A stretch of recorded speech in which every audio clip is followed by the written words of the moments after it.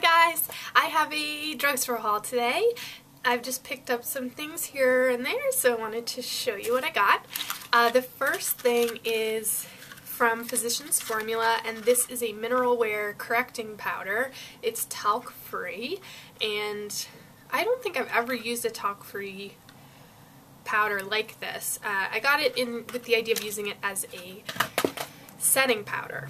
So this is what the compact looks like. It's in this clear packaging and the powder itself has sort of these swirls of pink, yellow, green that are supposed to help to correct uh, any color unevenness, I guess, in the skin and just generally brighten it. But that's that. I got one of the new Milani blushes. These look like flowers and this is in the shade 1 Romantic Rose.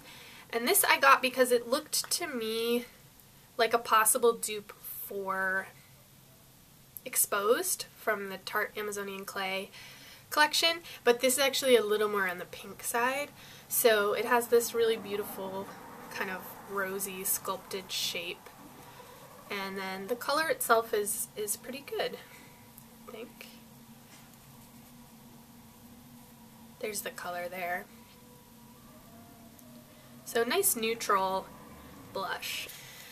This is from Harmon Face Values, and I hadn't seen this before, uh, and I'm almost out of eyebrow gel. And the one I was getting was, I don't even know what brand it was, but it was this tube that was unmarked, and it was at Harmon Face Values all the time for like two or three dollars. So I was always getting those, and the last couple times I've been there, they haven't had them.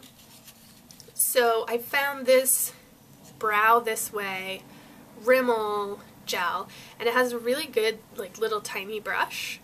And this was only about four dollars so not as cheap as those ones I was getting before but still very reasonable. So I'm gonna use this once I use up the ones that I have.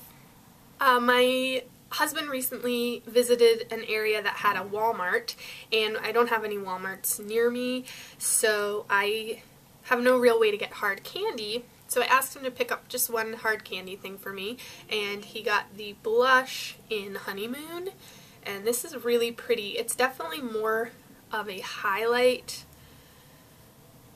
than a blush. It's like when you swatch it, it's just like a peachy, shimmery color. So I like this. Uh, I put it today over I put it today over the Milani one but it's really, really pretty. It's a, a Blush Crush Baked Blush in Honeymoon. On Amazon, I bought Manic Panic Dream Tone.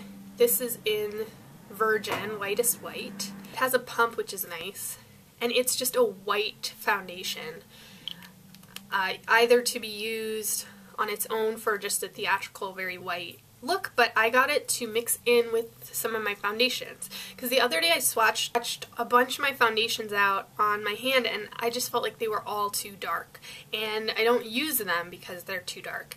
So I thought if I got this, this was around $12 I think with tax, um, I can mix it in with some of my foundations and actually get some use out of them. So today I actually mixed it with I think the Physicians Formula Argan Oil BB cream and mixed this in with that and got a color that's a better match for me. The only downside to this is that it doesn't have an SPF so when I use a BB cream or something with an SPF in it I need to make sure to do another layer of sun protection underneath the makeup because mixing this is going to water down the efficacy of the SPF in the foundation itself. So definitely makes using a BB cream not the one-step thing that it's supposed to be, but at least I'll be able to use up a lot of these foundations that are too dark, and then once I do that, I'll maybe try to find a BB cream or something that actually matches my skin tone. From Lot Less, I got one of these Maybelline lip glosses, and this is in the color Mocha Amazing. Mocha Amazing. Like a mocha. Amazing number 70. And I don't know if this is something that they're not going to carry anymore and that's why they had it, but I got it at Lot Less for $2.99 and I really like the color. I'm wearing it today. I really like this color. And these glosses are really nice. They're very smooth, long wearing for gloss, um, and not sticky at all, and they don't have an overwhelming kind of scent or flavor to them. Maybe a little bit fruity. But I like these, and I thought this was a nice neutral gloss. I went to work one day and was going to do my makeup on the way and realized that I had forgotten mascara. So that was a great opportunity for me to buy a new mascara. And I tried this the Falsies Big Eyes uh, 360 degree false lash effect from Maybelline in Black is Black. And this I used once and I thought it was fine but it didn't it I felt like it kind of it didn't last the whole day but it has two separate wands. So there's sort of this bigger kind of twisty wand for the top lashes, and then on the other end is this smaller, really small brush for the bottom lashes. But I haven't had, I tried it that one day, but I haven't had a chance to really like fully test it out yet. And then I have a couple limited edition things. So the first is one of the Maybelline Face Studio blush sticks, but this is a matte blush stick. The regular ones are glaze and they have just a slight shimmer to them, but this one is one of the mattes that came out limited edition in the color Rosy Rush. And I just love this color. It's sort of a terracotta shade. Uh, and I have worn this a couple days and I like it. These blush sticks are really good. So I was excited to get one of the matte shades. And then I got two limited edition Wet n Wild eyeshadow palettes. I've been not going so crazy with Wet n Wild lately because I just don't use it. It's really fun to collect, but I don't use it very much. Uh, however, these are supposedly reformulated to some of their earlier shadows, so I really wanted to try them and see how they performed.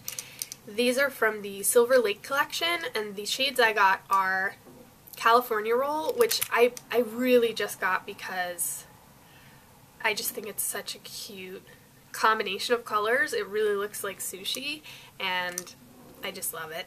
Uh, and I have have swatched these and they're pretty impressive. Let me show you some of these shades. So I'll just do these four brighter color shades here. So there's four of those shades. These are really soft and pretty pigmented. The other set I got is Vegan Culture, and I wasn't originally going to get this because I don't tend to gravitate towards cooler shadows, but with my hair so red, I feel like I should use cooler shadows sometimes, or at least try them out. And honestly, I just got this for this color in the lower uh, right hand side here. I felt like that was just such a pretty kind of teal color. But after swatching them, my favorite is actually this top right shade here. It's really unique for the drugstore and for a one lid look is beautiful. So let me swatch these for you. So I swatched this one, this one, this one, and this one. So there's four of those. They do feel really smooth and easy to work with.